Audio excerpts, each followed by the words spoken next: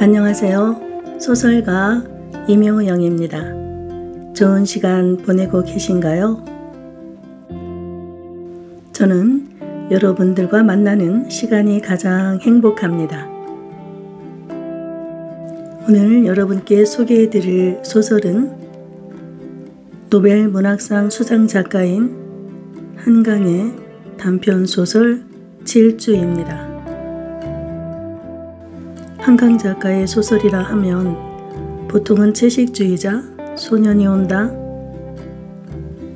몽고 반점 그런 대표적인 소설만 떠올리는데요. 사실 한강 작가가 쓴 단편 소설도 많이 있더라고요. 저도 요번에 처음으로 노벨 수상 후 한강 작가의 소설을 찾아보다 보니 제가 읽지 못했던 단편 소설이 있어서 여러분께 소개해 드릴까 합니다. 한강 작가의 노벨 문학상 수상은 기존 작가 혹은 앞으로 작가가 되기 위해 열심히 공부하고 있는 모든 작가 지망생들에게도 큰 희망이 되었습니다. 사실 작가가 되고 싶어도 아주 유명한 작가 몇몇 빼놓고는 책 한 권을 내봤자 흔히 작가들 하는 말로 밀가루 몇 푸대 인쇄 받았다 이렇게 말합니다. 생활 자체가 되지 않기 때문에 전업 작가로 활동하기가 어려운 실정입니다. 가장 연봉이 낮은 직업이 작가라고 하잖아요. 그런데 이번 한강의 노벨 문학상 수상은 망망대해에 난파된 채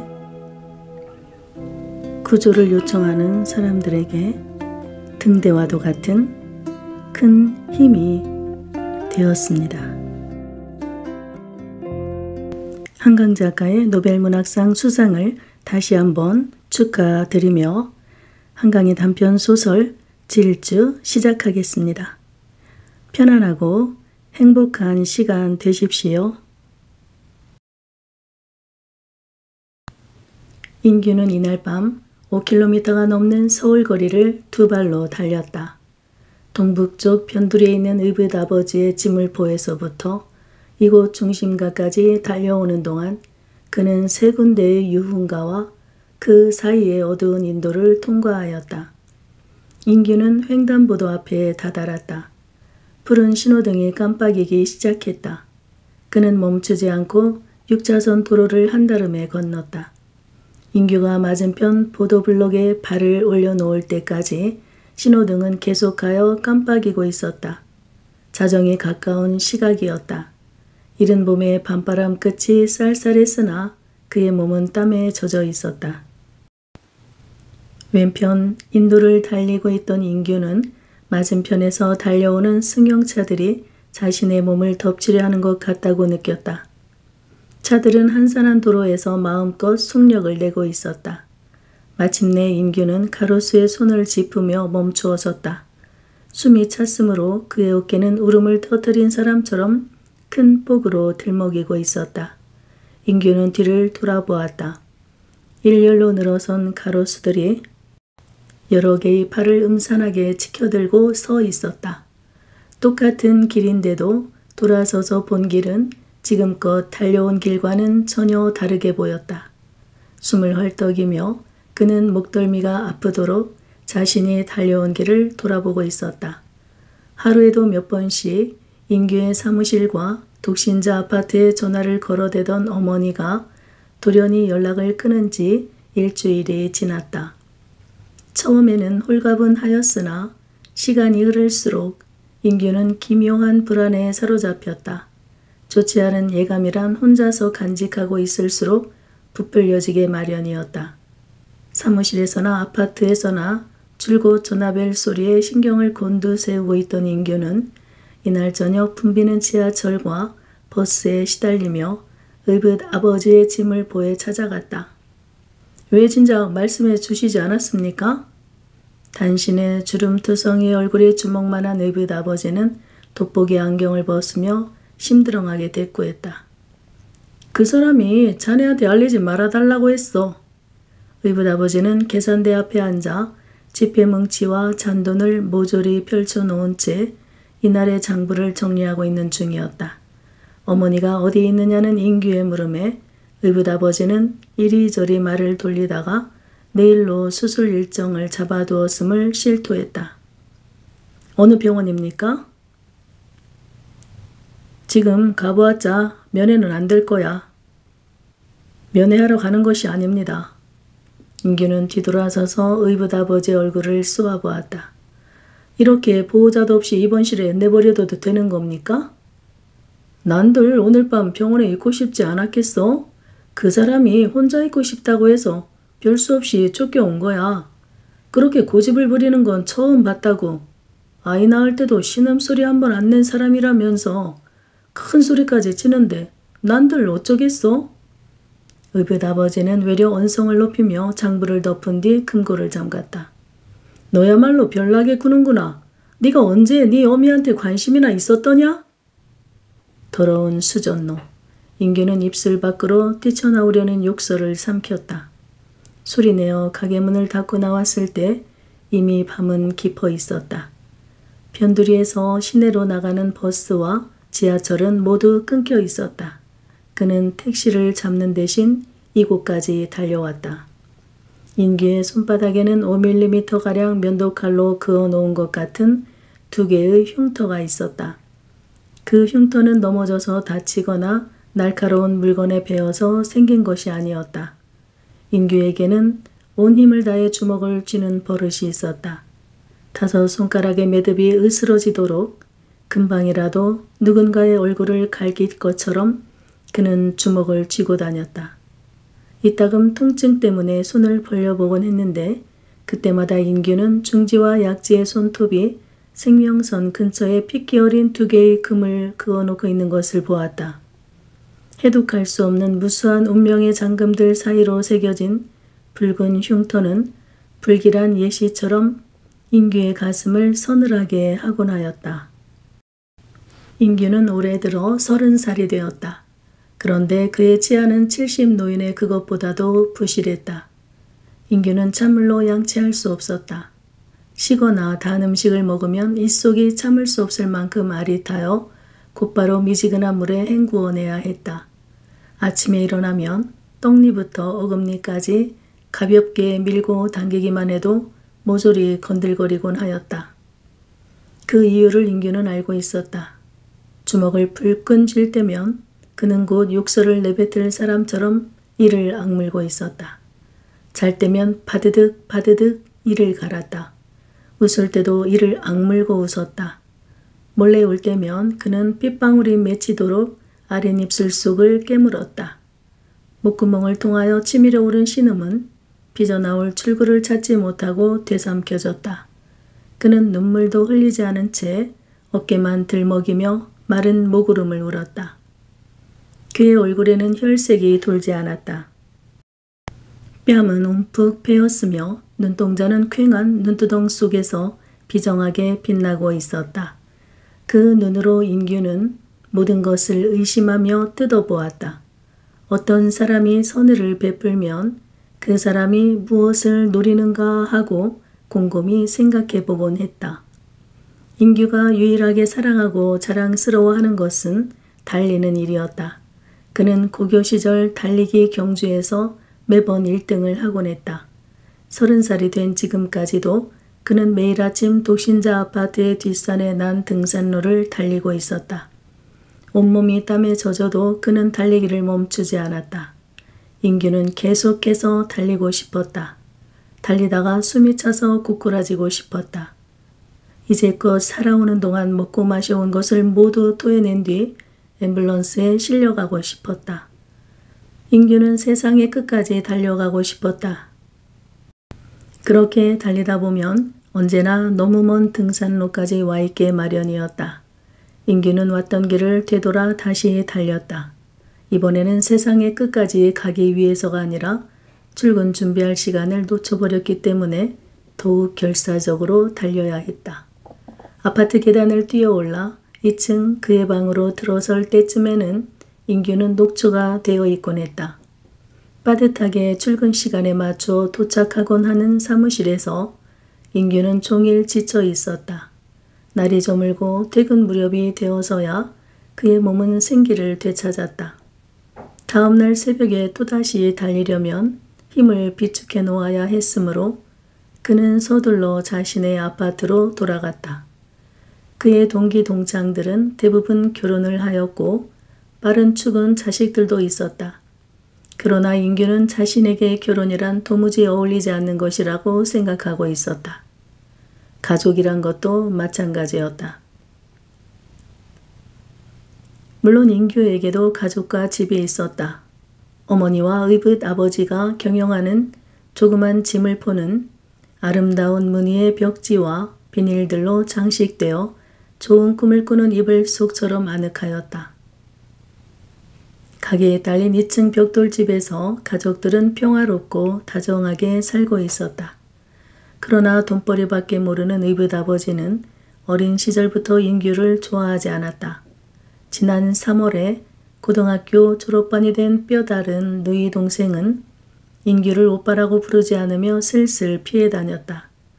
학창 시절 내내 집안에서 겉돌던 인규는 취직하자마자 회사에 딸린 독신자 아파트로 독립해 나갔다. 어머니는 식구들 앞에서 인규에게 애정을 표하지 않았다. 필요한 대화 외에는 말을 걸지도 않았다. 한 달에 한 번 월급날이 있는 주말에 가족들을 방문하는 인규는 마치 낯선 손님인 것처럼 격식을 차린 대접과 배웅을 받은 뒤 짐을 풀을 나서곤 했다. 그렇게 무심하던 어머니가 인규에게 전화를 하기 시작한 것은 지난 겨울의 어느 아침이었다. 10분 남짓 지각한 인규가 바삐 사무실 책상 앞에 앉자마자 전화벨이 울렸다. 인규냐? 나다. 애미다. 무슨 일이십니까? 의례적인 안부 인사를 교환한 뒤 인규가 용건을 묻자 어머니는 왜 나는 너한테 전화하면 안 되는 사람이냐? 하고 말끝을 흐렸다. 눈이 눈이 많이 왔지 않느냐? 간밤에 말이다. 그래서 그냥 그냥 생각나서 걸었다. 어머니는 수줍은 처녀처럼 연신 말을 더듬고 있었다. 그럼 이만 끊는다. 이 간단한 첫 통화가 어머니에게는 몹시 만족스러웠던 모양이었다. 어머니는 그 후로 일주일에 한 번, 사흘에 한 번, 종래에는 하루에 한 번씩 전화를 걸었다. 인규는 평소와 다름없이 사무적인 대답만 하는데도 어머니는 시종 웃음을 흘리며 비슷한 이야기를 묻고 또 물었다. 오늘은 날이 흐리구나. 일기예보는 어떻더냐? 빨래 널어놓고 나오지는 않았냐? 창문 열어놓고 나온 건 아니냐? 우산은 가지고 나왔냐? 난 글쎄 오늘 우산을 잃어버렸다. 어디서 어떻게 잃어버린 건지 도무지 캄캄하구나. 그러다가 3분을 알리는 기계음이 울리면 깜짝 놀라 시간 다 됐다 하며 통화를 끊고 나였다. 의아해하던 인규는 그달의 마지막 주가 되어 짐을 보러 찾아갔다. 막상 얼굴을 마주 대한 어머니는 아무 일도 없었다는 얼굴이었으므로 인규는 귀신에 흘린 것 같은 기분이었다. 그녀는 실제로 인규에게 전화했다는 것을 기억하지 못하는 것 같았다. 어머니의 자궁 속에서 지난 2년간 음성 종양이 자라고 있었다는 말을 의붓 아버지로부터 들은 것은 그날이었다. 저녁상을 물리고 내 식구가 모여 앉아 있었을 때 의붓 아버지는 인규가 보는 앞에서 어머니를 나무랐다. 혹이 조그마할 때 얼른 수술을 하면 좋다고 했는데 뭐 때문에 여태 미뤄온 거요? 이제 주먹만하게 자랐다니 수술이 더 커지게 됐잖소? 이 나이에 몸에 칼을 대면 무엇하겠어요. 더 살고 싶지도 않아요. 어머니는 낯을 붉혔다. 사과를 깎으려고 과도를 짚는 손이 파르르 떨고 있었다. 그 다음 날도 어머니는 인규의 사무실로 전화를 했다. 사무적인 말씨로 예와 아니오만을 대답해왔던 인규는 처음으로 어머니의 통증에 대하여 물었다. 아프지 않으십니까? 이 자서가 아프다. 왜 안 아프겠느냐? 수화기 저편에서 느닷없이 흐느끼는 소리가 들렸다. 인규는 의자 등받이에 기대고 있던 상체를 고추 세웠다. 사무실은 고요했다. 컴퓨터 키보드 소리와 복사기 돌아가는 소리가 아득하게 울려왔다. 기나긴 전화선 저편에서 울고 있는 늙은 어머니를 달랠 방법이 인규에게는 없었다. 더 손쓸 수 없기 전에 어서 이번 수속을 밟으세요. 그때 인규의 어조는 참으로 다정해서 자신의 다물려 있던 입이 뱉어낸 것이라고는 믿어지지 않았다. 어머니는 흐느낌을 멈추었다. 괜찮아. 견딜만 해. 네 누이 동생이 여름 방학이나 하면 그때 봐서 할란다. 어머니의 무고한 대답을 들었을 때 인규는 어머니가 단지 두려움 때문에 수술을 미루고 있다는 것을 알았다. 어머니는 배를 가르고 피를 흘리고 회복기에 긴 시간을 고통과 씨름하는 일을 두려워하고 있었던 것이다. 읍의 아버지에게 핑계로 내세우는 금전적인 문제나 누이 동생의 뒷바라지 문제는 그 다음 이야기였다. 어린애 같은 소리 마세요. 지금이 2월인데 그때까지 어떻게 기다린다는 말입니까? 어머니는 잔뜩 주눅이 들어서 그러나 아들이 역전까지 내면서 걱정해 주는 것을 반가워하며 괜찮다니까 그러네. 네 건강이나 조심하렴. 운운하며 얼른 전화를 끊어버렸다. 어머니는 그 후 전화할 때마다 당신의 통증을 호소하였다. 어젯밤엔 한숨도 못 잤다. 화장실에 가기가 겁이 난다. 아랫배가 찢어지는 것만 같아. 수술을 하면 얼마나 아플까? 생배를 가위로 가르는데 얼마나 아플까? 혹이 갓난에 머리통만해졌다는데 얼마나 아플까? 평생 누구에게도 고통을 호소해 본 적 없는 어머니의 어리광처럼 내뱉는 말에 인규는 당황하였다. 더구나 당신이 한 말을 기억하지 못하며 같은 말을 되풀이하는 것에는 매번 놀랄 수밖에 없었다. 얼마나 아플까? 나는 겁이 난다. 혹이 갓난에 머리통만 해졌다는데 얼마나 아플까? 치매라고 보기에는 너무 이른 나이였다. 외가적으로 치매의 내력이 있었으므로 가능성이 없지 않았으나 어머니는 이제 겨우 50대 중반이었다. 인규는 어머니가 단지 두려워하는 것일 뿐이라고 생각했다. 날이 갈수록 무관심해지는 의붓 아버지와 다자란 누이 동생 사이에서 외로워하는 것이리라고 짐작했다. 식구들 사이에서는 아무런 다른 낌새도 보이지 않다가 인규에게 전화할 때만 감정이 격해지는 것으로 보아 인규의 추측은 정확한 것 같았다. 인규의 그런 생각은 얼마 지나지 않아 여지없이 깨어졌다. 진눈깨비가 어지럽게 흩날리던 오후였다. 진규야, 거긴 춥지 않냐? 옷 단단히 여미고 있어야 한다. 수화기 저편에서 어머니의 목소리는 흐느끼듯이 떨고 있었다. 지금 뭐라고 하셨습니까? 인규가 놀라 다그치자 어머니는 화들짝 정신을 차린 듯 인규야 이만 끊는다. 바람이 너무 차서 하며 황황히 통화를 끊었다. 그날 인규는 퇴근할 수 없었다. 그는 밤이 깊도록 사무실 창문 밖으로 명멸하는 저승불 같은 네온 사인을 바라보며 서 있었다. 어둠 속에서 성글게 나부끼는 눈발은 포도 블록에 닿자마자 형체도 없이 쓰러져 버리곤 하였다.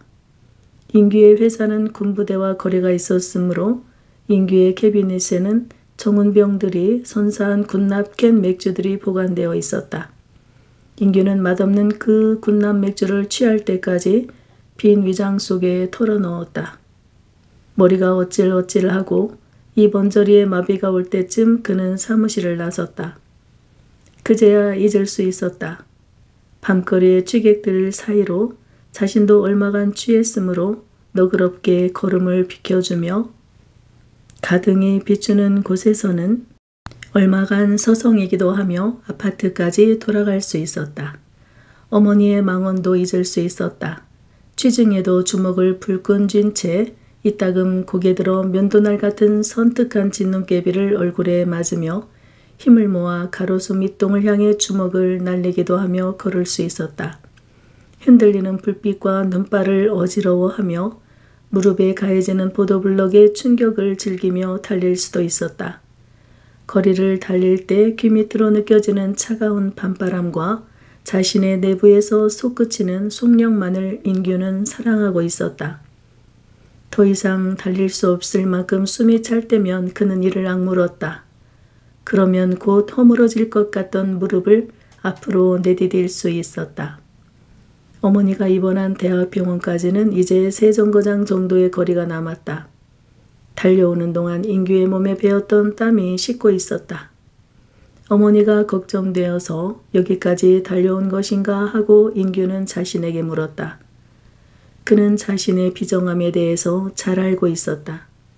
입원실 철제 침대에 혼자 누워있는 어머니의 모습을 상상하자마자 왜 울분이 치밀었는지 하루의 수입을 계산하고 있던 의붓 아버지의 평온한 얼굴을 보았을 때 어째서 증오가 느껴졌는지 알 수 없었다. 인규는 오래전부터 자신이 아주 늙어버린 사람과 같다고 느껴오고 있었으므로 이 감정의 동요는 이상스러운 것이었다. 이제까지 출구를 봉해왔던 기억의 실밥이 일시에 투둑 소리를 내며 끊겨버린 것인가 하고 인규는 생각했다. 무엇 때문일까? 어머니의 흐느끼는 음성이 그녀의 입에서 발음되어 나온 진규라는 이름이 그것을 끊어버린 것일까? 진규야, 거긴 춥지 않냐? 물컹한 봄밤의 대기 속으로 날카로운 발톱을 드러낸 바람이 불어오고 있었다. 그는 이를 악물며 주먹을 쥐었다. 쓰라린 흉터에 자신의 손톱이 파고드는 것을 느꼈다. 인규가 국민학교를 졸업할 때까지 그들 식구는 시골에 살았다. 인규의 아버지는 사이다병에 담아놓은 농약을 단숨에 들이켜고 죽었다. 어머니의 나이 35살, 인규는 11살, 코 찔찔이 동네 북이던 동생 진규는 6살 때의 일이었다. 부지런했던 아버지와 어머니는 논마지기를 꽤 가지고 있는 축이었으므로 어머니의 개가는 어렵지 않았다. 어머니는 여러 명의 구원자들 중에서 유일하게 자식이 딸리지 않은 호랍이었던 지금의 의붓 아버지를 택했다. 의붓 아버지는 결혼하자마자 논을 팔아 읍내에 하나뿐이던 지물포를 인수했다. 새마을 운동이 한창이던 즈음이었다. 인규가 살던 조그만 동네에서만도 한 달에 너댓 집이 쓸렸다가 증축되었다. 의붓 아버지는 새로 주문해온 벽지들에서 풍기는 음음한 종이 냄새를 사랑하였다. 또한 그 벽지들과 바뀌어 철제 금고 속에 수북이 쌓여가던 지폐의 냄새를 사랑하고 있었다. 농사를 그만두고 가게를 보게 된 어머니는 제법 고운 옷들을 사입었다. 거칠던 피부도 팽팽해졌다. 그들은 어느새 읍내에서 가장 금슬 좋은 부부가 되어 있었다. 진규가 죽은 것은 그때쯤이었다. 진규는 동네 아이들에게 맞아 죽었다. 그의 죽음은 아버지의 죽음만큼이나 어이없는 것이었다. 진규가 숨이 끊어지는 순간 인규는 읍내 지물포를 지키고 있었다. 읍의 아버지와 어머니는 물건을 받으러 도매상에 가 있었다. 반쯤 열린 가게 문 틈으로 인규의 앞집에 사는 꼬마 녀석이 얼굴을 뒤밀었다. 형, 진규가 맞는다. 때리는 형들이 여럿이야. 녀석은 잔뜩 겁을 집어먹은 얼굴로 귀뜸해주고는 달아났다. 그러나 인규는 진규에게 달려가지 못했다. 그 순간에도 손님들이 벽지를 고르고 있었고 어머니가 돌아오기로 약속한 시간이 가까웠으므로 인규는 발을 구르며 가게를 지키고 있었다. 30분이 흐르고 1시간이 흐르고 다시 30분이 흘러 마침내 어머니가 돌아왔을 때에야 인규는 공터를 향해 달려갔다. 인규는 그날 동구 밖 공터에 웅크리고 누워있던 조그만 진규의 몸뚱이를 아직까지도 또렷하게 기억하고 있었다. 황운역이었다. 겁먹은 아이들은 진규를 버려두고 달아난 지 오래였다. 빈 공터에는 안개 같은 땅거미가 자욱하게 내리고 있었다. 진규의 싸늘한 얼굴과 손발은 흙투성이었다.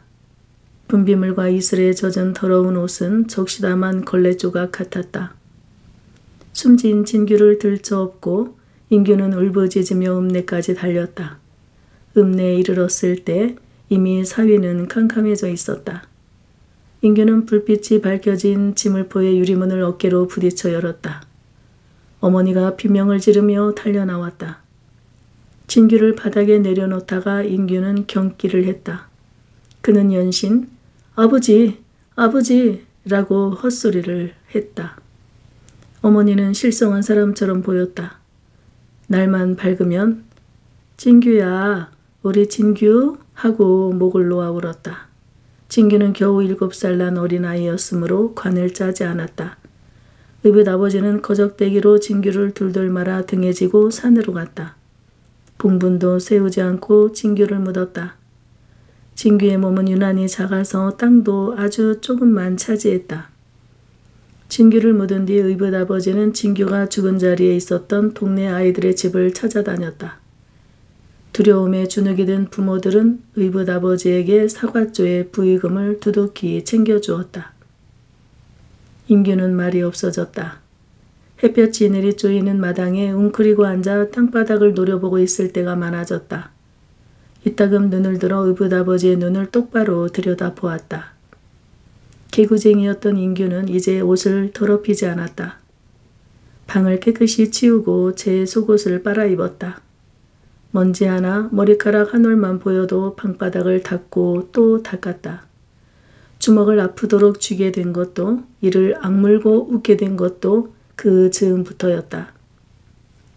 인구유, 저 녀석의 눈은 어린애 같지가 않아. 아주 섬뜩해.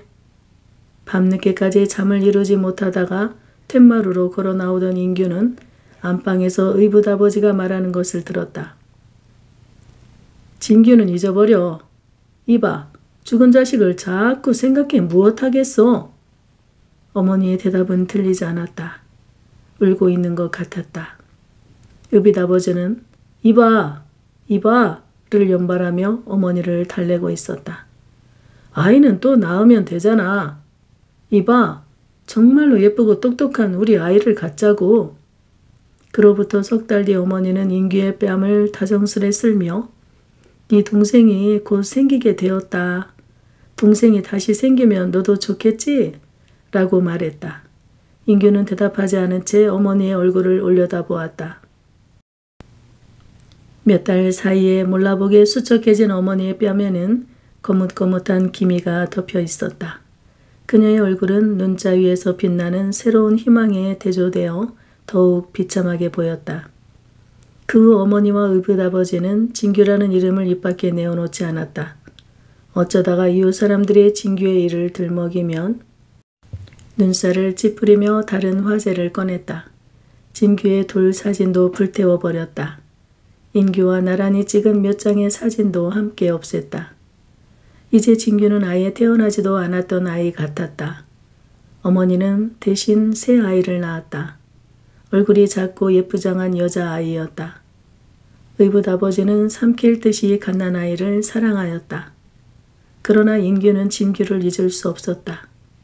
인규를 피해 다니는 동네 아이들을 용서할 수 없었다. 인규는 그날 어느 녀석들이 주동이 되어 진규를 죽게 했는지 알고 있었다. 인규는 그 중에 가장 약한 녀석이 혼자 다니는 길목을 지키고 서 있다가 녀석의 머리를 돌로 찍었다. 녀석의 이마에서 소눈빛 핏줄기가 흘러내렸다. 생각 없이 이마를 쓸어본 녀석은 제 손에 묻은 핏물을 보고 발작적인 울음을 터뜨렸다. 눈물과 핏물로 범벅이 된 얼굴을 손등으로 닦으며 녀석은 제 집을 향해 달아났다. 그 뒷모습을 향해 인규는 연달아 돌팔매질을 했다. 녀석은 자꾸만 앞으로 고꾸라지면서 사력을 다해 달렸다. 그날 밤 인규는 담 모퉁이에 숨어 그 아이의 아버지가 집으로 찾아오기를 기다리고 있었다. 그의 머리통도 돌로 찍을 생각이었다. 피는 피로서만 씻을 수 있다. 도덕 시간에 눈에는 눈, 이에는 이라는 말을 배울 때 선생님이 들려준 말이었다. 인규는 어둠 속에서 그 말을 되뇌며 가슴을 조이고 있었다. 그러나 그 아이의 아버지는 오지 않았다. 놀란 부모에게 녀석은 넘어져서 다친 것뿐이라고 둘러댄 것이었다. 인적이 드문 학교 뒤뜰 토끼장 앞에서 인규는 두 번째 녀석을 죽기 살기로 두들겨 주었다. 죄책감과 공포에 하얗게 질린 녀석은 별다른 반항을 하지 않았다. 인규는 제풀에 지칠 때까지 녀석을 때렸다. 아이들이 결코 고자질하지 않을 것임을 알게 되었으므로 인규에게는 두려울 것이 없었다. 인규가 제정신이 들었을 때 아이는 맥없이 쓰러져 있었다. 철장 안에 갇힌 휜 토끼들이 붉은 눈을 치뜨고 허공을 올려다보고 있었다. 쓰러진 아이를 버려둔 채 인규는 아무 일 없었다는 듯이 교실로 돌아왔다. 아이들은 이제 혼자 다니는 것이 무서워 똘똘 뭉쳐 다녔다. 인규는 그들의 행동을 엿보며 기회를 노렸다. 그 기회가 쉽게 찾아오지는 않았으나 일단 그것을 포착하면 놓치지 않았다. 인규의 복수극은 순조롭게 진행되었다. 마침내 그 아이들의 우두머리 노릇을 하던 녀석만 남았다. 덩치가 중학생만큼 크고 힘이 센 그 녀석을 완력으로 이길 방도는 없었으므로 인규는 다른 방법을 궁리하고 있었다. 그 무렵 인규는 소년 소설에서 독약을 매일 극소량 복용하다 보면 어느 날 한꺼번에 들이켜더라도 죽지 않는다는 대목을 읽었다. 그 이야기는 인규를 사로잡았다. 포악한 왕의 미움을 받던 선한 주인공은 자신의 병을 치유하기 위해 아침마다 약간의 독을 복용하고 있었다. 사형 선고를 받은 주인공은 왕이 내린 사약을 단숨에 마셨으나 죽지 않았다. 주인공은 마침내 악마라는 누명까지 쓰고 화형대로 끌려가던 중에 친구들의 도움으로 구출된다는 이야기였다. 인규는 날마다 정상가리를 조금씩 물에 타먹어야겠다고 생각했다. 시간이 흐르고 인규의 몸이 독의 내성을 갖게 되었을 때 자신이 노리던 마지막 우두머리 녀석과 마주 앉을 생각이었다. 그때쯤이면 인규의 몸은 불사신과 같이 강해져서 아버지가 마시고 죽은 농약을 두 병쯤 마신다 해도 죽지 않을 것이었다. 자, 나는 이 독약의 반을 마시겠다. 진규를 따라 죽겠어. 너는 그 나머지를 마셔라. 녀석은 마시지 않을 수 없을 것이었다. 죄책감과 공포에 떨며 그 잔을 비울 것이었다. 똑같이 독약을 마신 인규가 눈썹 하나 까딱하지 않고 지켜보는 가운데 녀석은 온몸을 뒤틀며 죽어갈 것이었다. 인규는 그 광경을 공상하다가 몰래 몸소리를 치곤 했다. 그러나 공상이 실현되기 전에 그 녀석은 2층 교실에서 뛰어내리는 소동을 벌였다. 녀석은 다행히 무릎과 어깨에 골절상만 입고 휴학을 하였다. 창문에서 뛰어내리기 직전 녀석은 인규의 얼굴을 바라보았었다. 녀석의 뺨은 눈물에 젖어 번들거리고 있었다. 덩치에 어울리지 않게 연신 어깨를 들먹이다가 녀석은 고개를 돌렸다. 그리고 주저없이 창밖으로 몸을 던졌다. 민규는 그날 오후 집에 돌아와 알아 누웠다. 격렬한 목구름 때문에 숨을 쉴 수 없었다. 그는 가슴을 쥐어뜯었다. 아무것도 먹을 수 없었다. 밤새 오한을 쏟아내며 그는 헛소리를 쳤다. 다음 날도 그 다음 날도 그는 학교에 가지 못했다. 그것으로 인규의 복수극은 끝났다. 상처투성의 유년기 역시 끝났다. 인규가 할 수 있는 일은 이제 없었다. 학교에 나가지 않은 지꼭 닷새가 되던 날 오후 인규는 힘없는 몸을 끌고 나와 툇마루에 웅크려 앉았다. 오래된 장독들이 옹기종기 모여있는 퇴락한 마당가에 유채꽃이 무성하게 돋아 있었다. 뜨거운 눈물이 그의 뺨을 타고 흘러내렸다. 그의 가을은 길고 우울했다. 모든 아이들이 슬금슬금 인규를 피해 다녔으나 인규는 개의하지 않았다. 인규에게는 그들 모두가 형편없는 어린 아이들로 느껴졌다. 인규는 차츰 말없는 아이가 되었다. 인규가 국민학교를 졸업함과 함께 인규의 일가족은 상경했다. 의붓 아버지는 서울 변두리에 새로 지물포를 차렸다. 시골 읍내에서보다 수입이 좋았으므로 살림은 날로 날로 불어났다. 어머니는 도회 안하게 되어갔다. 너희 동생은 서울말을 배우기 시작했다. 그들 식구가 고향에서 겪었던 모든 일들은 까마득하게 잊혀져 갔다. 그런데 이상한 것은 인규가 유년 시절을 돌이킬 때마다 실제로 자신이 매일 소량의 독약을 물에 타먹곤 했던 것처럼 기억된다는 것이었다. 청산가리를 구하기 위해 약국 근처에도 가보지 못했음에도 인규는 청산가리라는 말을 들을 때마다 마치 다정한 친구의 이름인 것 같아 마음이 편안해지곤 하였다. 자신의 두 팔이 칼날이라도 되는 것처럼 느꼈던 시절 어린 진규를 죽인 놈들을 그 두 개의 칼로 남김없이 쳐다내야 한다고 느꼈던 그 시절부터 인규는 청산가리를 먹어온 것만 같았다.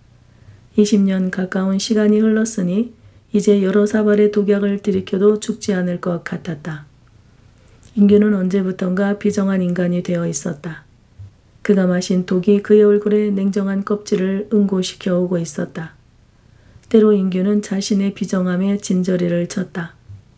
그러나 이제 와서 그 껍질을 부술 수는 없었다. 그는 늦은 밤에 숲을 헤매다가 덫에 걸린 짐승과 같았다.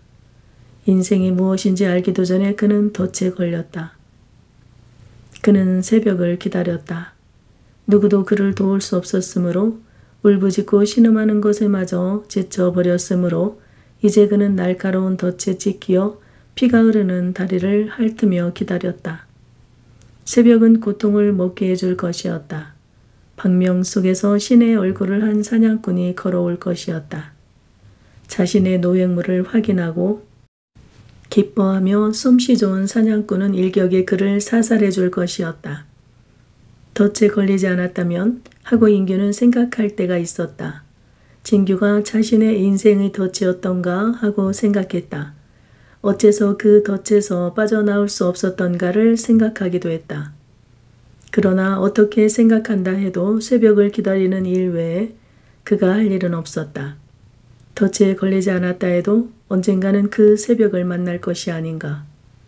인규는 그렇게 스스로를 위로할 수 있을 뿐이었다. 인규는 두 팔을 늘어뜨린 채 유흥가를 걷고 있었다. 아직 집으로 돌아가지 못한 수십 명의 취객들이 택시를 잡기 위해 차도로 내려서 있었다. 인규는 그들의 어깨를 헤치며 앞을 향해 나아갔다. 모퉁이를 돌아가자 대학병원의 담길이었다. 외등을 에워싼 가로 수 잎들이 서늘하게 번쩍이고 있었다. 음습한 길을 따라 걸어온 연인 한 쌍이 인규의 옆으로 스쳐 지나갔다. 모든 것이 인규에게는 꿈과 같이 느껴졌다.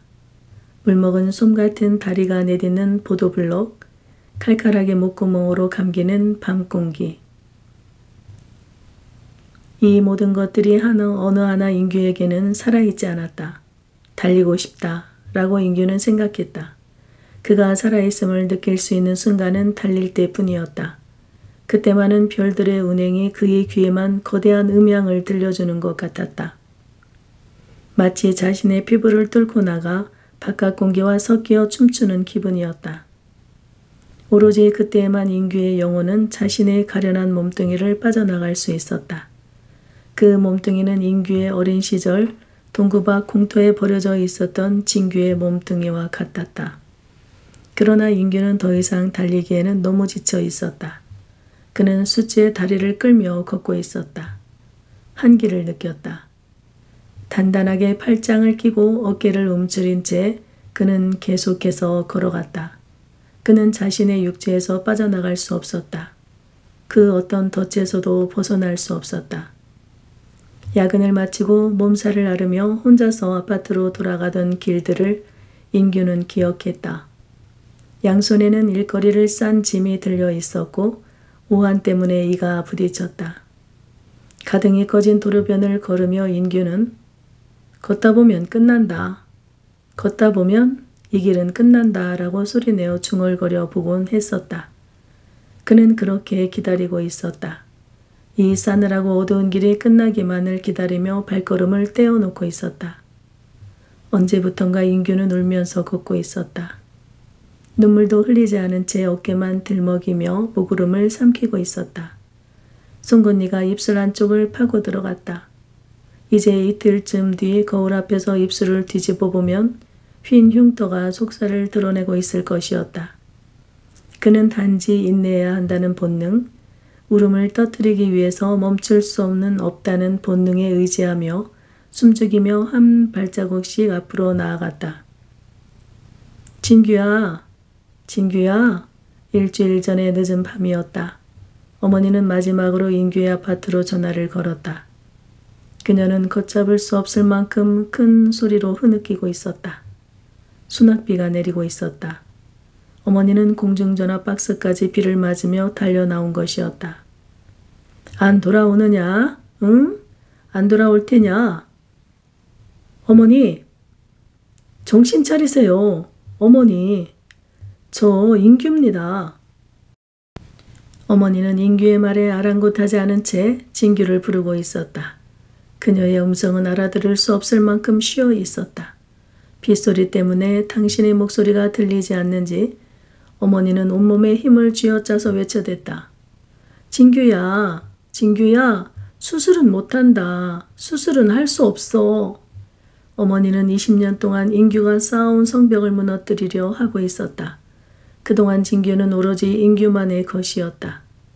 인규는 7살에 죽은 진규를 기억하는 단 한 사람이었다. 진규를 사랑하였으며 진규로 인하여 고통받은 단 한 사람이라고 믿고 있었다. 죽은 사람의 영혼이 그를 기억하는 자들의 마음속에만 서식한다는 말이 맞다면 진규는 인규의 죽음과 함께 영원히 죽어질 영혼이었다. 그때야말로 진규의 죽음은 완전해질 것이었다. 그런데 어머니가 진규를 거적대기에 싸고 분분도 없이 묻은 어머니가 다시 진규를 부르고 있었다. 20년 동안 한 번도 진규의 이름을 입에 올리지 않았던 어머니였다. 다시 너를 낳고 싶다. 진규야. 빗소리가 인규의 귓속을 핥히었다. 어머니가 빗속에서 울부짖고 있었다. 다시 너를 낳고 싶구나. 돌아오겠느냐? 나에게 돌아오겠느냐?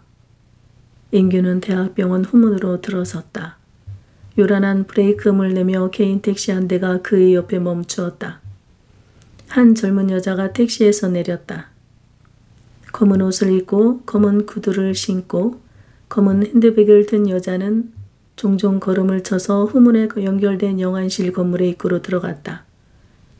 영안실 건물은 층마다 환하게 밝혀져 있었다. 죽은 자들이 거기 누워 있었다. 산자들은 그들 곁에 엎드리거나 주저앉아 밤을 새우고 있었다. 밤바람이 인규의 어깨를 물어뜯었다. 영안실로 들어가는 길을 따라 우거진 나무들은 금세라도 인규를 향해 쓰러질 것처럼 무성한 가지들을 흔들어대고 있었다. 인규는 휘청거리며 그것들을 노려보았다. 시멘트로 포장된 언덕을 넘자 지대가 높은 곳에 거대한 병동이 있었다. 인규는 병동 맞은편으로 펼쳐진 서울의 야경을 보았다. 노랗고 붉은 불빛들이 저교하게 깜빡이고 있었다.